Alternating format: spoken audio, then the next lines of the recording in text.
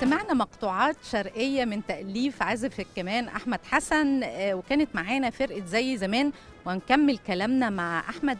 آه، أحمد آه، فرقة زي زمان أنت كونتها 2014 وبعدين الفرقة مرت بمراحل كتيرة قوي.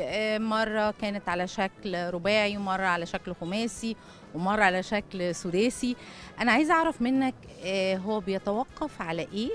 شكل الفرقة. هل ده بتبقى مسألة آه، إمكانيات ولا على الشكل الموسيقي اللي أنتوا بتقدموه؟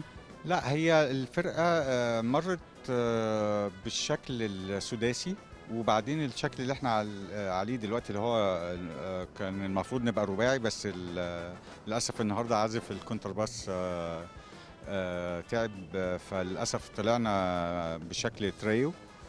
آه، لكن آه، التغ- التغيير كان لا آه، كان مش آه، إمكانيات ولا حاجة خالص يعني مم. وإحنا كنا ال- الصوت وأنواع الآلات لما كنا بالشكل السداسي كان. صوت وشكل مختلف ودلوقتي إحنا بشكل مختلف وبصوت تاني مختلف فكان اختلاف صوت أكتر.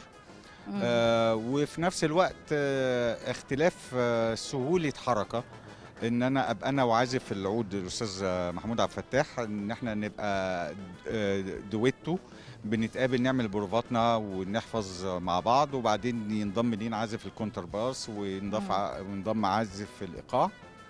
فهنا كانت آه، الصوت ال- الكمان مع العود صوت جميل آه، حبيته. أكتر.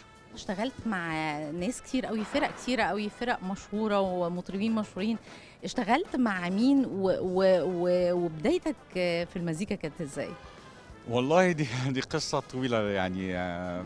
باختصار شديد مم. البداية كانت من المدرسة آه،. مدرس الموسيقى قال لي يعني يعني سألته سؤال كده آه، كانت الموسيقى في المرحلة بتاعتنا في أولى ثانوي وثالثة ثانوي فأنا سألت المدرس الموسيقى طب إحنا في تانية ثانوي هنعمل إيه؟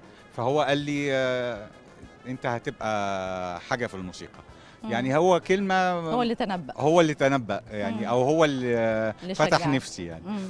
وفضل يشجعني بعد كده كتير واتدرب وأروح أتدرب بره المدرسة. كان بيدرب حاجات تبع وزارة الشباب والرياضة. فمن هنا كانت الموسيقى ابتدت تسيطر على على الموقف يعني. مم. آه، دخلت الجامعة ومن هنا دخلت فرق موسيقى عربية. ثم دخلت مهرجان الموسيقى العربية أول مرة على ما أذكر كان آه، 2001 مم. و... وجرت ال. واشتغلت مع. ناس كتير قوي مطربين كمان معروفين آه مم. الحمد لله يعني حتى رب يعني من حظي السعيد آه، اشتغلت صاحبت صباح فخري مم. آه في 2001 في مهرجان. الموسيقى العربية على هامش المهرجان يعني مش في مم. المشاركة الأساسية.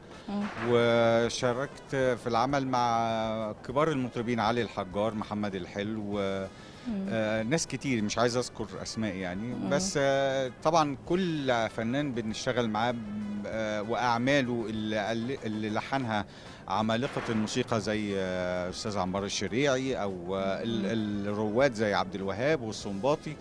ومحمد الموجي وكمال الطويل كل دول بيسيبوا في وجداننا حتة كده الحتة دي ممكن بتظهر في مقطوعة ما أو في حتة معينة في مؤلفاتك آه في المؤلفات زائد مم. طبعا آه، رائد الموسيقى الصامتة أو الموسيقى الآلية آه، مم. رحمة الله عليه الفنان عبده داغر آه، مم. يعني هو ده معلم الأجيال يعني زي ما بيقولوا كل الحاجات دي بتسيب فينا أثر فما فيش شخص بي بيبتكر ما حدش عمل آه، طيارة من غير ما يشوف طائر بيطير قبل مم. قبل كده فهي فكرة بتسلم فكرة مم. فإحنا أجيال بتسلم أجيال يعني